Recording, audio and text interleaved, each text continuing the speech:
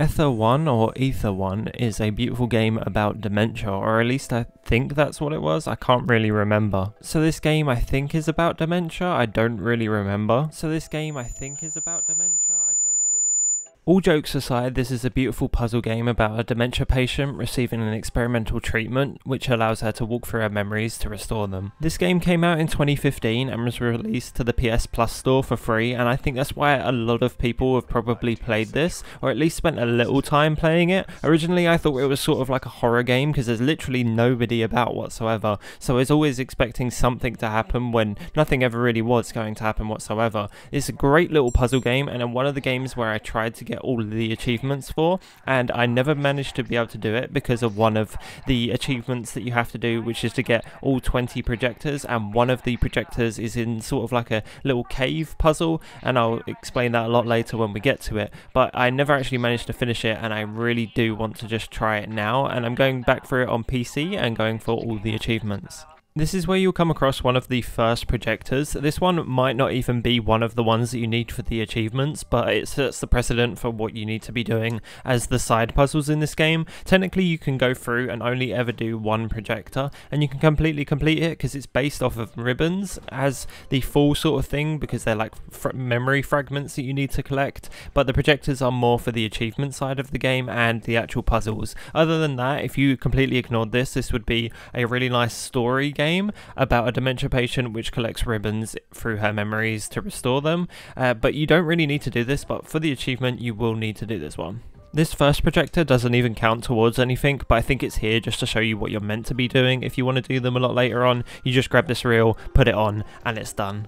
This first achievement I accidentally did because I actually didn't remember to do Remembrant Repairer. I did it by mistake because there's a lot of fuses in this box here and I just went over to this side first. There's a letter beforehand that if you read it, it tells you about James putting a broken fuse inside of the fuse box. I just took it out initially because I just thought, oh, I'll probably need to replace this if there's a ton of fuses over here. So I just did it and then got the achievement by mistake um, because I just thought, oh, there's going to be a load of fuses over here. I'm going to have to switch this out before we do it. And and yeah, I didn't think about it, but I just sort of did it out of force of habit of like doing stuff before you get told to, and yeah, it worked out, and I got a free achievement out of it. So after sitting down in this evil looking chair and having a wall built around me and then being submerged in water, I didn't die, but it's part of the procedure apparently, is to just drown the patient. I had been transported into a little room which allows me to store objects and also all of the ribbons and all of the other stuff that I need to restore my mind.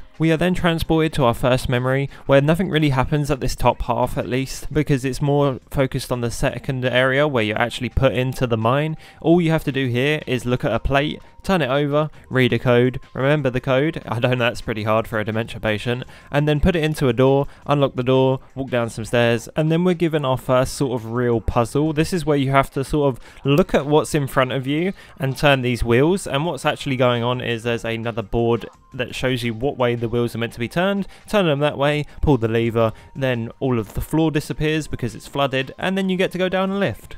This is where we run into our first projector, and this one is where we get taught about how these sort of puzzles work. It's a main focus in this area to progress, but then isn't a main focus in the rest of the game, and sort of more of a side project if you want to get all the achievements, which obviously I do. This one is quite straightforward. All we have to do is grab this big bottle, put it in a hydraulic press, press it, grab the shard of glass that we got out of it, and go around cutting all these pipes. Once all the pipes are cut, this door opens, you grab a book and you go and put it back on that desk where the note was, and then the projector's built. After you finish watching the projector, this door opens behind it, where you then have to walk down this area and you find what I'm guessing is meant to be dementia. Uh, you kind of hydraulic press it. Unfortunately, hydraulic pressing dementia doesn't make it go away, but it does make a random door spawn and then you get sucked into it, and then all of a sudden you're just flying through a bunch of memories that we've never seen before, but this person obviously knows about, and then you get transported back to the main room. Into our first big area now and in this cupboard i'm just going to say this now you need this little wheel thing so do take it. We're in our first memory now and this is obviously i think where we grew up. It's a little town called pinwheel harbour and in here you're really meant to just be looking around for all these ribbons. There's eight of them collect them all and then you're done with that bit. But we're here for the projectors because this is part of the achievement. For this first projector you need to grab the stamp that's in this drawer place it on the envelope type in this word then order one of those post it to the post office and then go inside the post office and your parcel's instantly delivered, which is really nice. Grab that, go upstairs into the little boy's room or the little girl's room, I don't know, one of the two. Go in there, put that in the little box, and then that is that one done. For this next projector that's in the blacksmith, you want to grab that wheel thing, put it on the fireplace, and then turn the fireplace on. Then go upstairs and lower this little bit of rope into sort of this lathe. Then turn the lathe on so it spins and pulls the rope. An anchor will drop behind you and smash the floor in. Go upstairs and grab this cable, go through the hole in the floor and then put the cable in the gap where the wire is and then turn the switch on. Walk a bit further down and that projector will be done. For the projector in the pub you want to type in JD Taylor here. These are the bottles that have been stolen from around the town. Uh, they have that exact picture on it and that's where that sort of correlation comes from. You want to grab the little like dial wheel that we grabbed earlier and go and put it in and then put in 1513 open the door get the key go over to the door unlock the door open the door go upstairs and steal this guy's boat then come back downstairs go outside walk to the left and up the river and then you'll see three boats that are ready to race each other and obviously one of the ribbons is there. Put the boat in there and watch it win the race and then come back and the projector is done you want to go into the workshop for this one and then close the door behind you. This will then open the door that's locked in the room. Once you go in there, you want to pick up the little bell hammer and then look out the window at the boys that have the bells on them outside. Watch for their little pattern, repeat that on the bells inside and then come back downstairs and the projector will be done. In the next area, you want to head over to the arsenic house and then fiddle with these little pump pressure controls and make sure they're all at the right ones. Spin this wheel and then spin these two other wheels to turn the ovens on. Come and raid this cupboard and grab some isopropyl ethyl and then go back to the fires and make them blue. Flip this lever and watch a minecart fill with dust and then walk back straight upstairs and then the projector will be done. For the next projector, you want to break into Sean's locker and steal this mug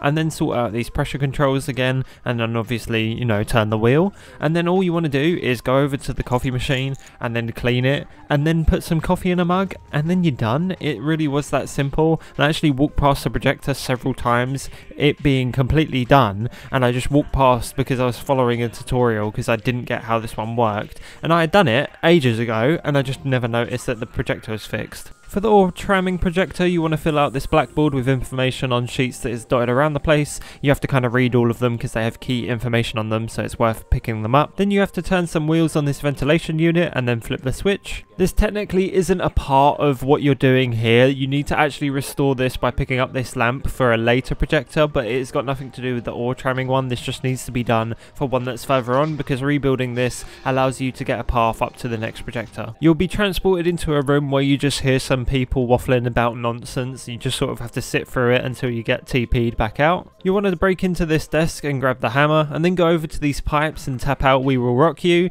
and then all of a sudden these minecarts come along and then you're done. Oh, that's that projector completed. For the next projector you want to open the industrial pulley door and then make sure that the hook goes down onto it and do the same for the other side because these pulleys then pull the lift up that you take in a second. You'll want to then sort out these pressure controls and then just spin the wheel as all always. Then take the lift upstairs. You'll then have to fill up this blackboard with information found on sheets around the building. You'll then want to put the sheet of paper on this sort of like wheel contraption and turn it on, and then it's completely done. We got this achievement, Clever Clogs, for restoring 5 projectors a little while back, considering that we've done more than 5, but I thought I'd mention it now, because we're finished with our second area, and this is where you would have the achievement if you've been doing these already. I lied, there's one more. This pinwheel industrial water pressure points is attached to another projector that's up here, and these ones you have to sort of dot on this map where these big smoke towers are on there. Basically, that's how the correlation works. So you see a big tower, you put it in the grid. Once you've done all of those, you have to go downstairs and then go to this water pump thing. You have to then adjust these gauges to correlate with these weird little like pulley bell things around there. They have specific numbers on them. It's like 12, 7, 3, and 10. You have to go and put those in in whatever order, really, because uh, it actually works no matter what way you put them in. Come upstairs and obviously just click on the projector, and that's actually another achievement done. So this achievement, Smarty Pants, is for doing 10 projectors, and that's how many we've done so far, so no wonder we've got this. And there's another achievement coming up, where after taking some photos inside of a house of what's clearly been quite a serious case of a domestic uh, something going on, I'm not entirely sure. There's a body on the floor, so it's pretty serious. Uh, yeah, we then get transported back to the original place where we came in at the start, and instead of, uh, you know, being an idiot and being what this game's all about and completely forgetting to go and press the bell down at the bottom for the next achievement, which is Deja Vu, uh, I actually had to go and speed run back through the game to get to that point again just to collect it. But yeah, I uh, didn't do it the first time. After shining the light at then the big dementia ball inside of the lobby, uh, I don't know how that's there. I guess they sort of picked out my mind and was like, this is a great Into the next area now, and we're inside of Pinwheel Village. Our first projector is in a doctor's surgery and a cinema. I don't get how that works. We write down our appointment in this very weird combination of two buildings, which this has absolutely nothing to do with that being a doctor's surgery, apart from this is the way into the cinema because there's no other door in at the moment. The other one's locked. So to get here, there's a secret staircase inside of a doctor's surgery that takes him directly to a cinema. Once we're in the cinema, we want to head straight upstairs, and instead of finding a film reel, nope, uh, Morse code paper, then put it into a little Morse code machine, have it read out the Morse code, decode the Morse code and then find out that it's the emergency assembly point that we have to then type in, and then that's that projector built. On to our next projector, and outside of the school where this projector is located, there is noughts and crosses drawn out on the floor. A few people have had a few games, but the actual answer to this one is what the pub sign is. There's a pub here, and it's got noughts and crosses on it, so obviously that's the answer to this one. This school isn't reading of Mice and Men or Inspector Calls, instead they're reading The Grumpy Knocker. You have to type this one in because this is what the school is focused on, and it's part for the projector. And then also for the spellings here, we have a word that will troll our American audience, and instead of wrench, you have to put down spanner, because that's what we call the specific item. Although we do also use the word wrench for a very similar tool, there is just for this for this specific task in a made-up game inside of a dementia woman's mind, we are using the word spanner here. I'm very sorry. We then have to grab a paintbrush and then start painting a wall until a, a, door sort of comes out of the wall. I know you have dementia, right? But I'm pretty sure this never happened. Once the door's open, we have to walk down inside. We then have to open this chest and grab a bit of sheet music. Then that's that projector completely done. Into Field Ciders now, and we're going to open the door with the key that we found earlier, or well, at least try to.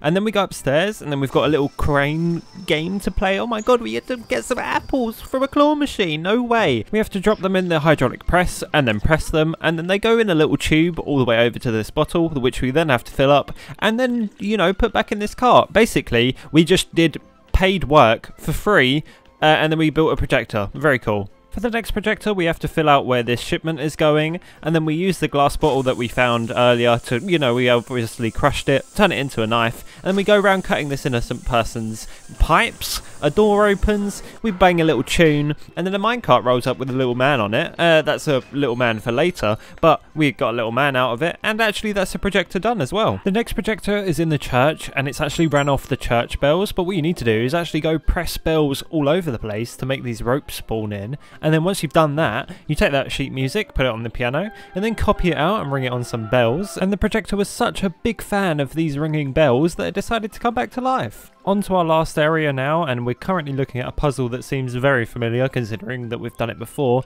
but one of the valves is missing. This is also for another projector that's in this area. All you have to do is whack some pipes, wait for this little wheel to turn up on a really pimped out minecart, take that wheel and put it on the thing, and then adjust the things so they're okay, watch the water fill up, and then go, oh my god, this is way too high, and then adjust the thing on a thing, and pull the lever on the thing, and then it's all fixed. As I walk over to this phone, this is another achievement called Concern, where we listen to all six voicemail messages. These are on little phones that are dotted around the map. I didn't think it was important to include this until we had got the achievement, and this is the final one for us. As you can see, all of the little dots on the phone have been filled in. This next projector is really simple and really fun, and also really nicely straightforward. This whole area is actually really great, so I definitely, I definitely recommend you actually play this game and try it yourself. But you have to get these film film reels in order. Uh, well, they could be tape tape reels, I don't know, you know the ones that got audio recording on it. You got to put them in a certain order, and then once they're together, uh, then you play the message, and then the projector builds itself.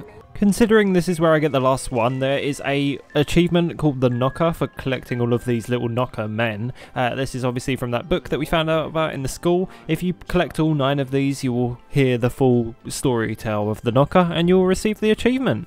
For the next projector, this is a room filled with poles and cog things. This one is super simple. You have to press on these things and some of them go down and they stay down and some of them you press and they will come back up. So it's like a sort of like, oh, guess which ones which will stay down and then if you press the wrong one, they all come up again. So you've got to get all of them to stay down and once they've all stayed down, the thing powers on and the projector builds itself. Time for a very, very, very complex little projector here. And these puzzles in this game are very difficult, especially when you have no idea what you're meant to be doing. This one is hard to figure out because I had no idea what was going on. First of all, you need a Bible to pay respects to each different uh, you know, like book stand. You need to put the Bible on each one to bless all of the miners that have obviously passed. And then you have to blow out a certain amount of candles until a set number is left, which I believe is 12. Or you have to blow out 12. One of the two. It is a very confusing it's just confusing. It straight up is it, it's hard, especially when you don't know what you're doing 100%.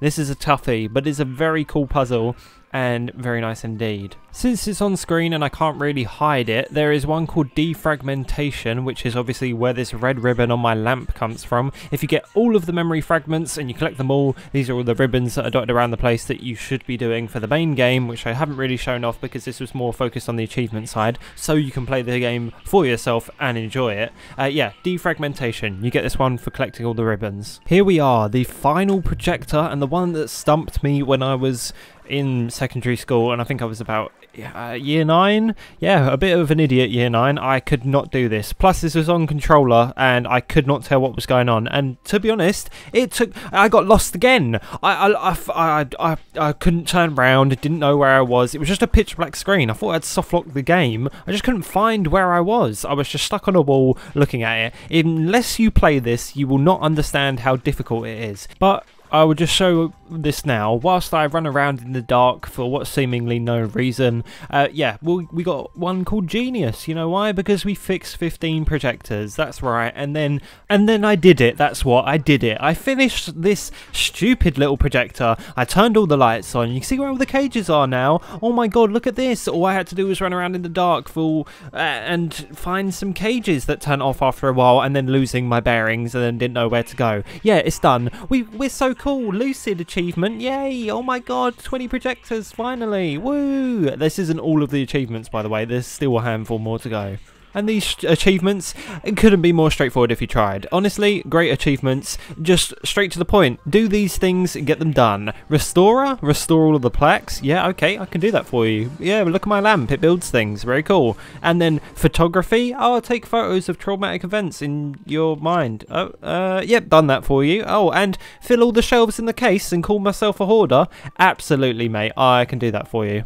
And that brings us to this beautiful image of all of the achievements 100%ed. Very, very nice. Oh, I'm so glad to see this. Very nice. I mean, it's not as satisfying as a Platinum Trophy and that going on my PlayStation account, but to be fair, uh, I don't have a console anymore, so can't really get hyped about that. But if you do want to see the ending for this game, I de definitely, definitely, definitely recommend that you play it. It's very cheap. You might even have it on your PS4 because it was free for a time in 2015, so you might even have it in your library without even realizing, but it's a a great game. Definitely give it a go and collect all the achievements. Have fun with the puzzles. Enjoy yourself, even though I kind of gave away how you do most of them. I did accidentally cut a few steps out just to make sure that you didn't use this as a guide more as this is an entertainment video of me getting all the achievements uh, than using this as a guide or anything. But do enjoy. Uh, thank you very much for all for watching. Uh, I hope you did actually enjoy the video and do go enjoy this game. I really do hope that you enjoyed this video. It was very satisfying to pull off and I hope all of the editing and stuff was all worth it.